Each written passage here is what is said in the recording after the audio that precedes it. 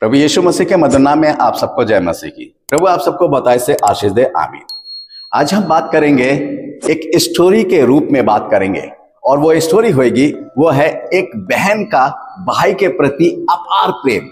जी हाँ आपके घर में भाई बहन हैं जो आपने देखा होगा भाई बहन अक्सर आपस में लड़ते, झगड़ते हैं, मगर फिर एक होते हैं, एक दूसरे के बिना रह भी नहीं सकते हैं। ऐसी एक बहन की और एक भाई की कहानी मैं बताना चाहता हूँ। ये उस समय की बात है कि जिस समय जो इसराइली लोग थे, जो परमेश्वर के लोग थे, जब मिस्र के अंदर गुलामी की स्थिति में रहते थे, गुलाम बनकर, गुलाम का मतलब उनको दास बनाकर रखा जाता था और उनके ऊपर बहुत जुल्म करते थे। वहाँ का जो राजा था, वहाँ के जो लोग थे जो मिस्री लोग थे, बहुत ज़्यादा उनके ऊपर जुल्म करते थे, उनको कष्ट देते थे, उनको दुख देते थे। और यहाँ तक इतना कष्ट देते थे कि वहाँ पर जो लड़के पैदा होते थे तो उनको मार डाला जाता था। परंतु लड़की जब पैदा होती थी, उसको नहीं मारते थे। अब ऐसी स्थिति में, ऐसी भयंकर परिस्थिति में कौन पैदा हुआ? मूसा पैदा हुआ।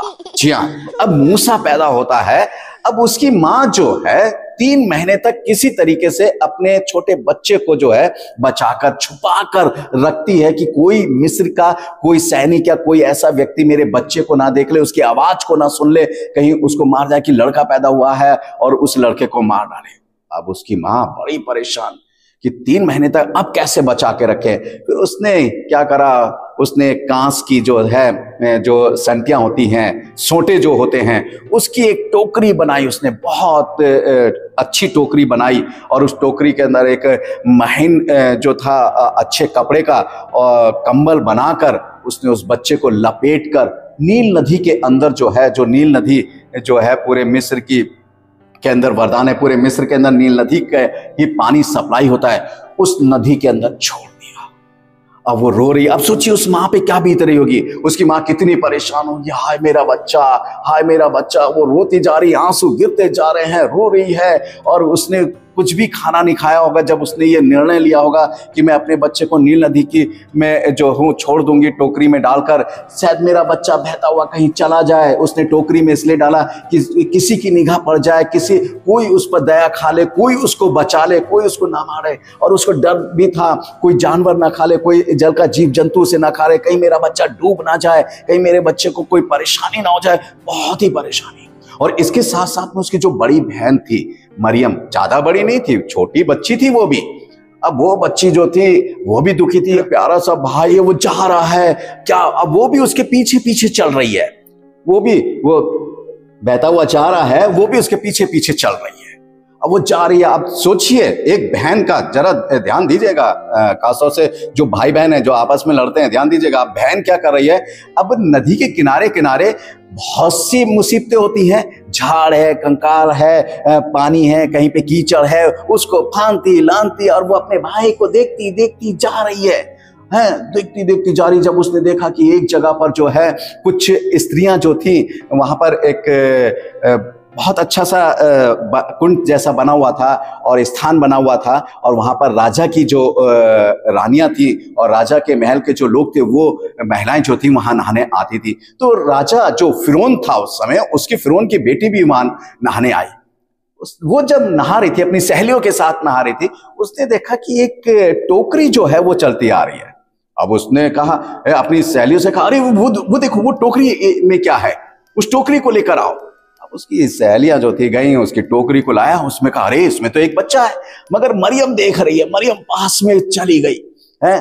अब वो देख रही है ये बच्चा ये तो किसी इब्रू का बच्चा लगता है इब्रानी का बच्चा है हैं? अब क्या करें? तो अब जो फिरौन की बेटी थी कुछ भी हो मैं इसको पालूँगी मैं इसको अ, अ, इसकी माँ बनूँगी। अब वो उस समय शादीशुदा नहीं थी अब उसने कहा दूसरी बोली तू पालेगी तो इसको दूध कहाँ से पिलाओगी? ये तो बहुत छोटा बच्चा है। ये तो भूखा मर जाएगा। ये कोई खाना नहीं खाता। तीन महीने का बच्चा है। ये मर जाएगा, इसको दूध कहाँ से पिलाओगी? अब वह जो थी, वो मरियम जो थी मूसा की जो बहन थी, वो सुन रही थी। उसने कहा, मैं इसके लिए इंतज़ाम कर दूँगी। इसको दूध पिलाने का काम जो है। बोले, ठीक है, उसको बुला कर और वो गई, दौड़ती गई खुशी खुशी माँ, तेरा बच्चा, मैं तुझे तेरे पास पहुँचा रही हूँ। मैं अपने भाई को लेकर आ रही हूँ। मैं अपने भाई को फिर से और उसकी माँ बेटी, तू क्या कह रही है? कैसे ला सकती? बोली, चल तो तू मेरे साथ, चल तो वो ले गई। अब फिर की बेटी के पास ले गई। फिर की बेटी ने कहा, तुम्हें इसको जो है, मेरे लिए पालो। और जब तक ये दूध पिलाना छोड़ ना दे, इसको तुम पालो, इसका पालन पोषण करो। देखिए, परमेश्वर की योजना देखिए। उस बहन का प्यार देखिए। उस बहन ने अपने भाई को फिर से माँ की गोद में लाके डाल दिया। और वो माँ जो थी बड़ी खुशी खुशी परमेश्वर का धन्यवाद देती हुई आँसू के, अब ये आँसू जो थे, माँ के और उसकी बहन के, ये आँसू खुशी के आँसू थे। पहले दुख के आँसू थे।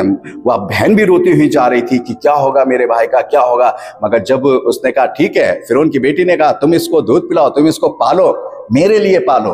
और फिर जो था उसको उसके घर माँ ले गई, बहन भी ले गई, खूब खुश हुए, आनंदित हुए और वही मूसा बड़ा होकर परमेश्वर का सेवक बना और पूरी इसराइल प्रजा को गुलामी से निकाल कर लाया। तो मेरे प्यारे भाई बहनों भाई बहनों का प्यार हमेशा ऐसे ही बना रहना चाहिए मरियम और मूसा की तरह, ताकि प्रभु आपको आशीष दे और कभी आप लोग जुदा ना हो एक एक दूसरे से, खासतौर से भाई बहन प्रभु आप सबको आशीष दे। आमीन।